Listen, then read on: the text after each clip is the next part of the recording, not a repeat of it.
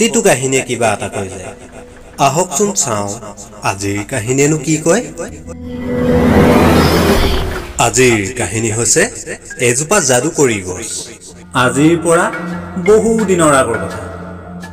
উদয়পুৰ নামেৰে এখন ৰাজ্যত এজন ৰজা আছিল আৰু সেই ৰজাজনৰ চম্পা নামেৰে এজনী জীয়েক আছিল।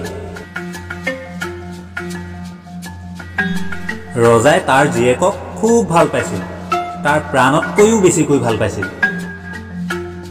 আৰু চম্পা দেখিবলৈ বৰ ধুনীয়া আছিল। কোনোবা পৰীতকৈ কোনো গুণতেই কম নাছিল। চম্পাই দেখিবলৈ যেনেকৈ ধুনীয়া তাৰ মনটো সহজ সৰল বৰ ধুনীয়া। আৰু চম্পাই সকলোৰে লগতে মিলিজুলি থাকি খুব ভাল পাইছিল। কোনোদিনে তাৰ মনলৈ উচ্চ নিজ ভাৱ নাহিছিল। এদিনাখন চম্পাই বাগিচা এখনত আনন্দত নাচি বাগি ঘূৰি ফুৰোতে হঠাতে মূৰ্ছা গ'ল মহাৰাজে তাৰ মূৰ্ছা যোৱা মৰমৰ জীয়েকক বহু চেষ্টা কৰিও কিন্তু আগৰ অৱস্থালৈ ঘূৰাই আনিব নোৱাৰিলে। জীয়েকৰ এই অৱস্থাটো দেখি মহাৰাজ বৰ চিন্তিত হ'বলৈ ধৰিলে। মহাৰাজৰ মনত এক দুখৰ ছাঁ পৰি ৰ'ল। আৰু ৰাজ্যৰ সকলো মানুহে ৰজা জীয়েক চম্পাৰ এই ঘটনাটো শুনি বৰ দুখ পালে।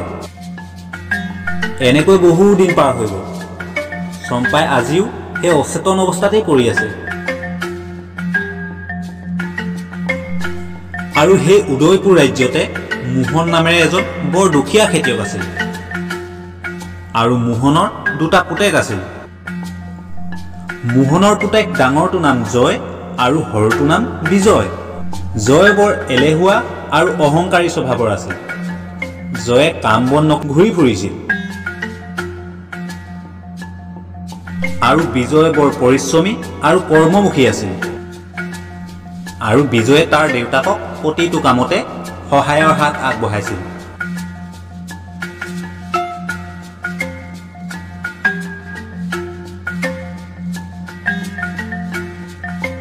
এদিন বিজয়ে পথাৰত কাম কৰি আছিল। আৰু দুপৰীয়া জিৰণি ল'বলৈ এজোপা গছৰ তলত বহিলগৈ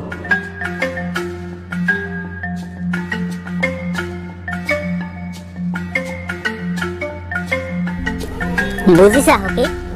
ৰজা জীয়েকৰ ঘটনাটোৱে গোটেই ৰাজ্যতে দেখোন এক দুখৰ ছাঁ পেলালে। এনেতে বিজয়ে শুনিলে যে হাবিৰ মাজত দুজনী চৰাই মানুহৰ ভাষাত কথা পাতি আছে। আৰু বিজয়ে সেই কথা কোৱা চৰাইকেইটাৰ কথাবোৰ শুনিবলৈ ভালকৈ কাণ পাতিল। ৰজাৰ জীয়েকক আকৌ আগৰ অৱস্থালৈ ঘূৰাই আনিবলৈ কিবা এটা ৰাস্তা আছেনে সখী? তই জাননে সখী?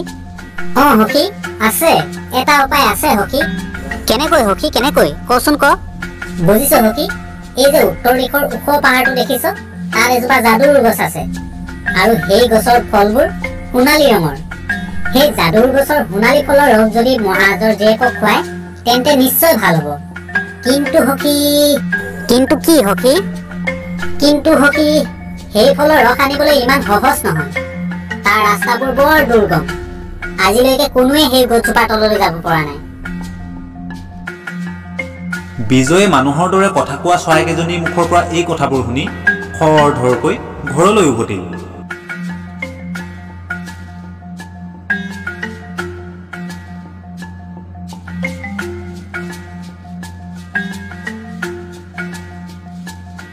আৰু ঘৰলৈ আহি বিজয়ে সকলো কথা আতিগুৰি মাৰি ক'লেহি।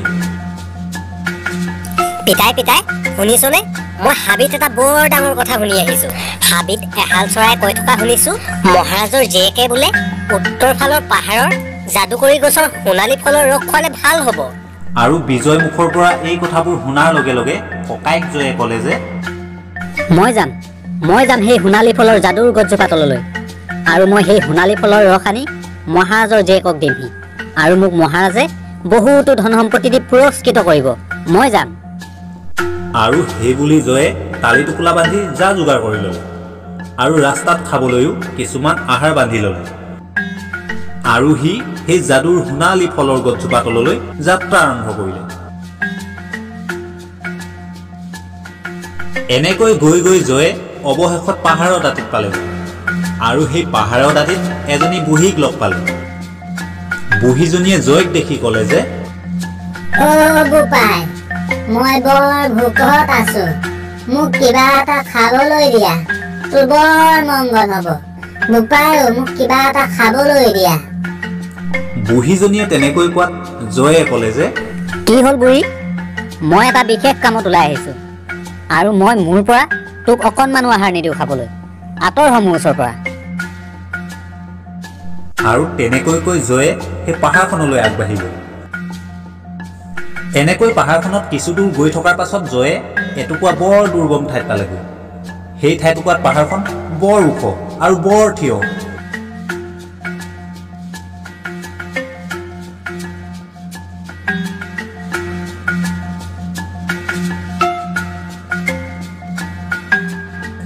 জয়ে সেই ওখ পাহাৰখনত বগাবলৈ আৰম্ভ কৰিলে আৰু এনেকৈ কিছু দূৰ যোৱাৰ পাছত জয়ে সেই পাহাৰখনৰ পৰা খহি আহিল।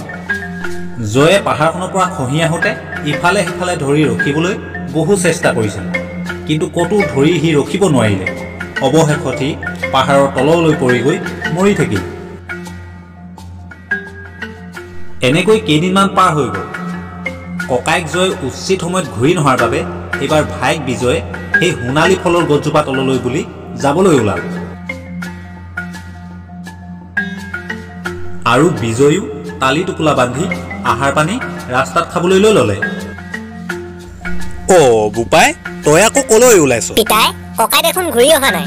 ময়ো সেই সোণালী ফল আৰু সেই ওখ পাহাৰৰ যাদুৰ গছজোপাৰ সোণালী ফলৰ ৰস আনি মহাৰাজৰ জীয়েকক দিবলৈ বুলি বিজয়ে তাৰ যাত্ৰা আৰম্ভ কৰিলে।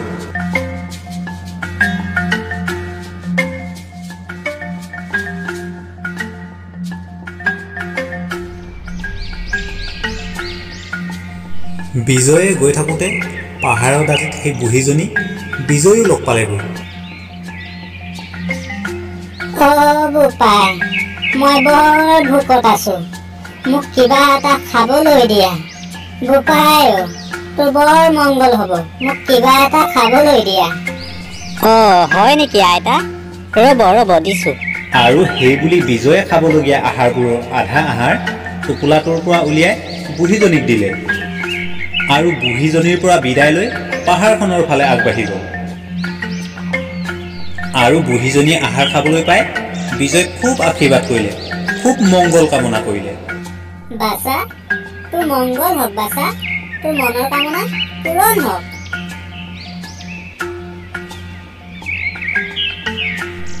আৰু অৱশেষত বিজয়ো গৈ গৈ সেই ওখ দুৰ্গম পাহাৰখনৰ কাষত পালেগৈ। আৰু বিজয়ে সেই ওখ পাহাৰখনত লাহে লাহে বগাবলৈ আৰম্ভ কৰিলে। আৰু বিজয়ে পাহাৰখন বগাওঁতে খুব সাৱধানে আৰু ধীৰে স্থিৰে আগবাঢ়ি গৈ থাকিল।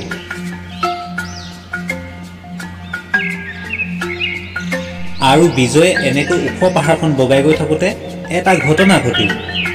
ক'ৰবাৰ পৰা এজনী অচিন পক্ষী ধৰফৰাই ধৰফৰাই আহি বিজয়ৰ কাষত বাগৰি পৰিলেহি। আৰু বিজয়ে ধৰফৰাই থকা চৰাইজনীক তাৰ টোপোলাটোৰ পৰা তাৰ খাবলগীয়া পানী যি আছিল তাৰে অকণমান খুৱাই দিলে। আৰু চৰাইজনী খন্তেক পাছতে সুস্থ হৈ সেই ঠাইৰ পৰা উৰি গ'ল।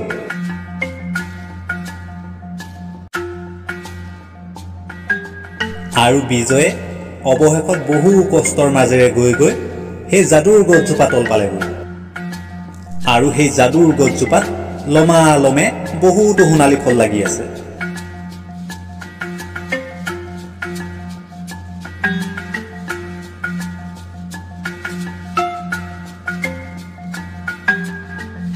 আৰু বিজয়ে লাহেকৈ সেই গছজোপাৰ পৰা এটা সোণালী ফল ছিঙাৰ লগে লগে বিজয়ৰ গাত যেন এক বুজাব নোৱাৰা অদ্ভুত শক্তি অনুভৱ হ'বলৈ ধৰিলে। বিজয়ৰ এনে লাগিল যেন ইমান কষ্টৰ মাজেৰে উঠি অহা সেই পাহাৰখন দুখ ভাগৰবোৰ তৎক্ষণাতে নাইকিয়া হৈ পৰিল। আৰু বিজয়ে সেই আনন্দত লাহেকৈ চকুকেইটা মুদি দিছিল।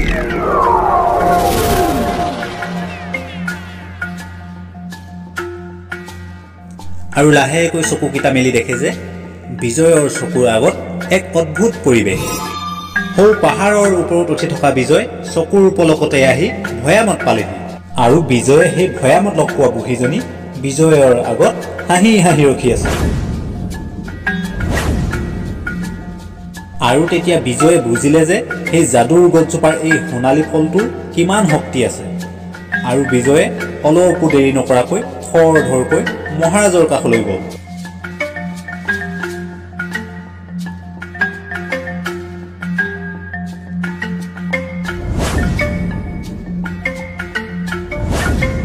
ৰাজসভাত মহাৰাজে বাকী দিনবোৰৰ নিচিনাকৈ তাৰ জীয়েক চম্পাক কেনেকৈ ভাল কৰিব পাৰিব কি কৰিলে ভাল হ'ব কোনে ভাল কৰিব পাৰিব সেইবোৰ চিন্তাকে কৰি আছিল। আৰু ঠিক সেই সময়তে বিজয়ে গৈ সেই ৰাজসভাত উপস্থিত হ'লগৈ।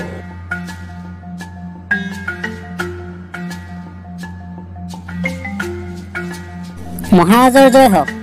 মই এজোপা যাদুৰ গছৰ পৰা এটা সোণালী ফল আনিছোঁ। আৰু এই ফলৰ ৰস খোৱালে হয়তো আপোনাৰ ছোৱালী ভাল হ'ব মহাৰাজ। হয় নেকি? যাদুৰ গছৰ সোণালী ফল। সৈন্য যাচোন যা লৈ যা চম্পাৰ ওচৰলৈ ইয়াক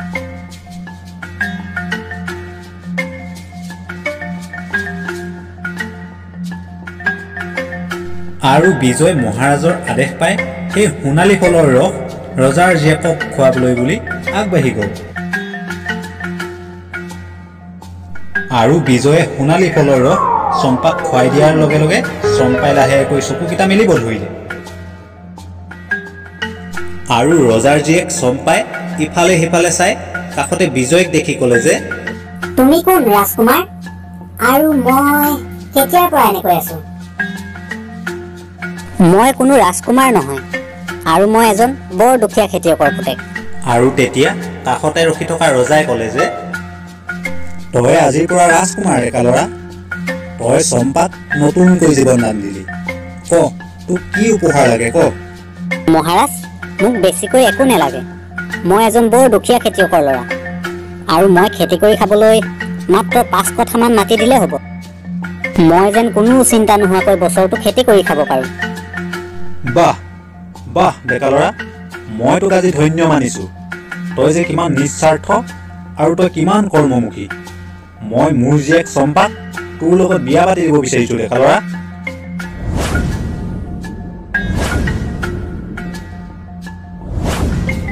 মহাৰাজ এই বিষয়ত মই প্ৰথমে মোৰ মা দেউতাক সুধিবগৈ লাগিব।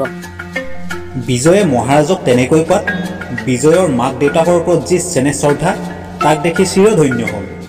আৰু ক'লে যে সঁচাকৈ ডেকা ল'ৰা সঁচাকৈ মই তোক দেখি আজি সঁচাই চিৰধন্য হৈছোঁ আৰু মই তোৰ মা দেউতাক ইয়াৰ পৰাই বাহ বাহ জনাইছোঁ। সিহঁতে যে তোৰ নিচিনা এটা নিস্বাৰ্থ আৰু কৰ্মমুখী সন্তানৰ জন্ম দিছে। আৰু মই অতি সোনকালেই তোৰ মা দেউতাৰ ওচৰলৈ মোৰ ছোৱালীৰ বিয়াৰ প্ৰস্তাৱ লৈ যাম। আৰু তেনেকৈ ৰজাই চম্পাক বিজয়ৰ লগতে বিয়া কৰাই দিলে।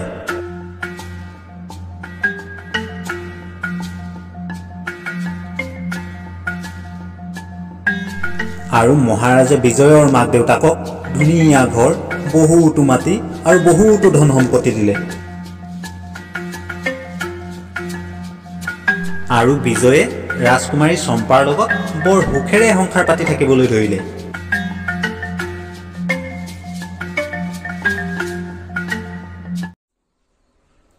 দৰ্শকসকল আপোনালোকে যদি ভিডিঅ'সমূহ চাই ভাল পাইছে এটাকৈ লাইক কৰিব কমেণ্টো কৰিব। আৰু আপোনাৰ আপোনজনলৈও ভিডিঅ'সমূহ শ্বেয়াৰ কৰি দিব। আৰু যদি কোনোবা চেনেললৈ নতুনকৈ আহিছে চেনেলটো ছাবস্ক্ৰাইব কৰি দিব। তেনেহ'লে আজিৰ ভিডিঅ'টো ইমানতে সামৰিছোঁ আৰু এটা অন্য ভিডিঅ'ত পুনৰ লগ পোৱা প্ৰতিশ্ৰুতিৰে।